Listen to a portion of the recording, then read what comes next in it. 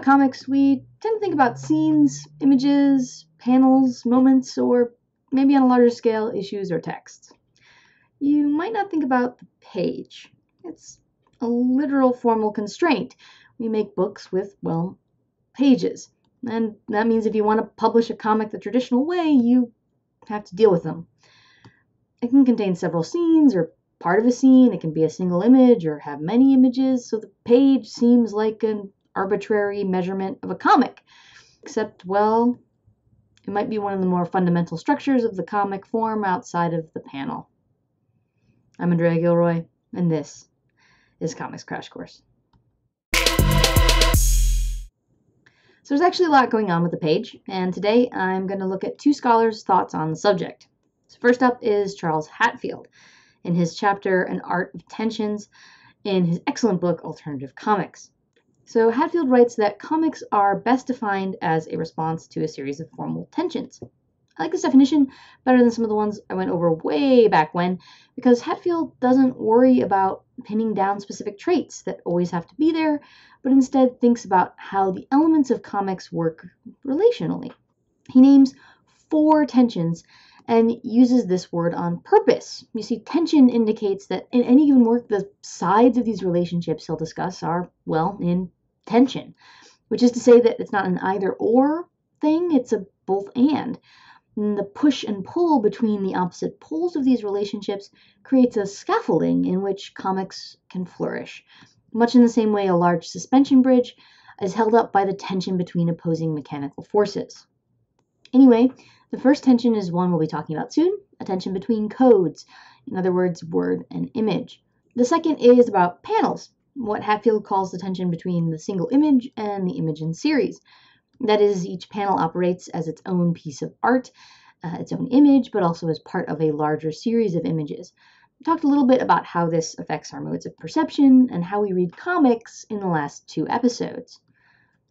Now, the third and fourth tensions apply to the page. So I'm actually going to talk about the fourth first uh, because it can apply to the page, but it also applies more broadly. So this relationship is what Hatfield calls a tension between the text as experience and the text as an object. In other words, this refers to the way we experience a text um, individually and personally, that we get lost in its world, we think about it in our own terms. And the fact that all texts are, well, objects in the real world, and they're subject to factors like design, marketing, sales. One example I give when I'm teaching this essay is when you pick up a book with an award sticker on it, for example, like a won a Pulitzer Prize, you might think your experience of the text, the stories, the characters, the world is totally your own. But I bet you go in with certain expectations because of that sticker. Likewise, design factors like paper quality, typeface, and the, even the physical size of the book or its packaging can also affect how you respond to a story. These are some of the broader aspects of the fourth tension.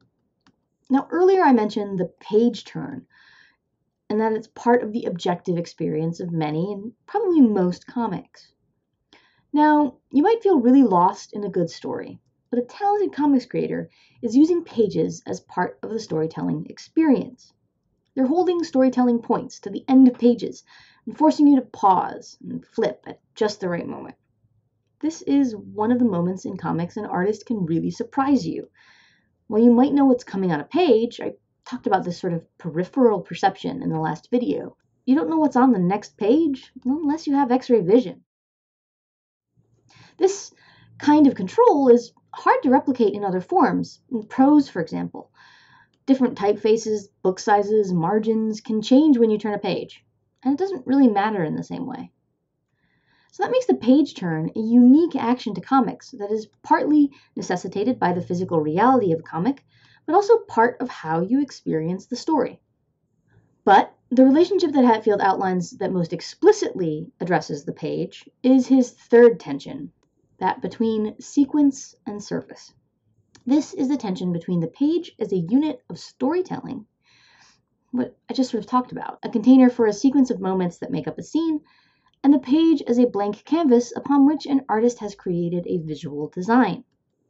Imagine you're really sucked into a comic story. You're probably up close, nose to the book, reading each panel, maybe each row, but you're not really stepping back and looking at the whole page. You know, maybe one quick glance once or twice. However, a page from that same comic hanging in an art gallery, well, you're going to approach it differently. You're going to appreciate the whole image, the way the panel shapes are arranged, and the shapes and colors inside the panels flow in and out of each other. Now, both of these are ways to look at a page. And depending on the artist and the work, some pages lean more one way or the other. But all comics pages rest on this tension between the sequence of the page and the surface of the page. It's often easiest to see when artists are purposely experimenting with the page as a surface, creating an elaborate design with the panels. These are fantastic, but they can sometimes take readers out of the sequential experience. It takes a really talented artist to do something quite baroque with the layout that doesn't entirely pull a reader out of the story. However, pulling readers out of the story might be exactly the purpose of these kinds of extravagantly designed pages. Forcing a reader to pause and look rather than speed reading might be the point. It needn't always be so bold. Take, for instance, the classic grid pattern. This layout is so common as to be taken for granted, and yet from a distance it's quite pleasing and symmetrical, a classic design. A good artist can use the pattern and the images inside the gridded panels to create a sense of repetition, or to create movement, or use colors and shapes to create deeper compositions within the grid.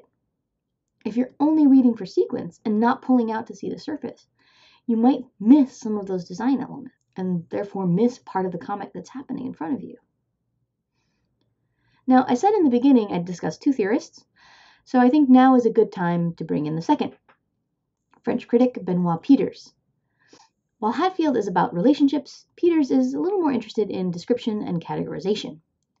Now, while I tend to like relationship based definitions better, descriptions can be really useful for making sense of what kind of work a page is doing. So, in Peeters' 1998 book, Case Planche Récit, Lire la bande dessinée, he categorizes page layout into four main modes. So he splits it two ways. First is narrative dominant, what Hatfield might associate with sequence or story. And the other is composition dominant, which is what Hatfield would associate with surface, composition layout. So Peeters complicates this by adding another categorization to the table. So some layouts privilege the autonomy of narrative or composition. That is, one or the other of those is the driving force behind the page, to the exclusion of the other. The other category privileges the interdependence of narrative and composition. That is, the creation of the page comes from the artist considering how narrative and composition can work together to make the page layout. So this will make a little more sense as I describe the four modes, although I promise there will be some mouthfuls. So, an autonomous narrative dominant page is working in what Peeters calls the conventional use mode, which is purely organizational. The panel frames are, well, just there to have something to put pictures in. It's a grid for grid's sake. You plug in the narrative. The narrative is the important part, the grid is just there to be a container for the story.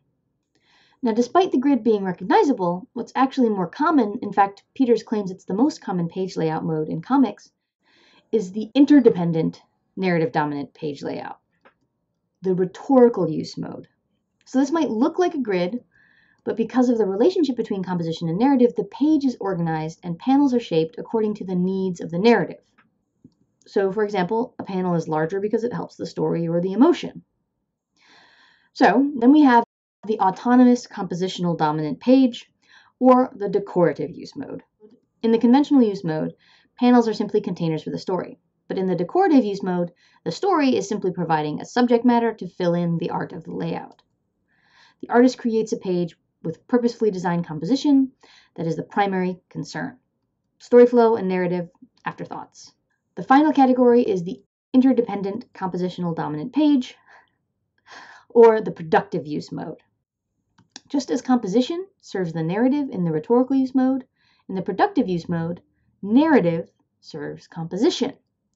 So as Peeters points out, one of the most frequent users of this type of mode was Winsor McCay, whose dream-inspired Little Nemo in Slumberland had these often awkward layouts that didn't make the strip easier to read, but did add to the visuals and create a dreamlike quality that is still hard to beat over a century after the fact.